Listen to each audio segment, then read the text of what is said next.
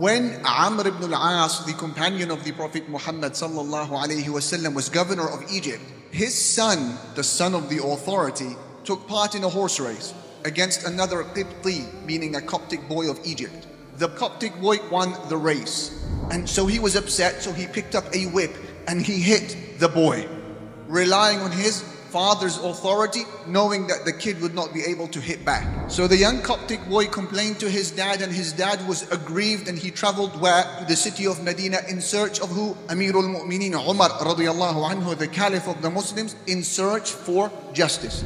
Umar was devastated when he heard this news that a Muslim had assaulted a Coptic because he was relying on his dad's power. So Umar ibn al-Khattab wrote a letter to Amr ibn al-As saying to him, as per what follows, the moment you read this letter, you come to me, you and your son, to the city of Medina. Amr ibn al-As packs his bag, he arrives in Medina. And when all of them were now in front of Amirul Mu'mineen Umar, Amr ibn al-As, his son, the Coptic boy, and his father, Umar hands over a whip to the Coptic boy and he says to him, if you wish, you can hit the child or the kid that hit you. And so he, uh, he cashed that check and he took the whip and he began to hit the boy, hit the boy until he felt as if retribution had been delivered. He felt good.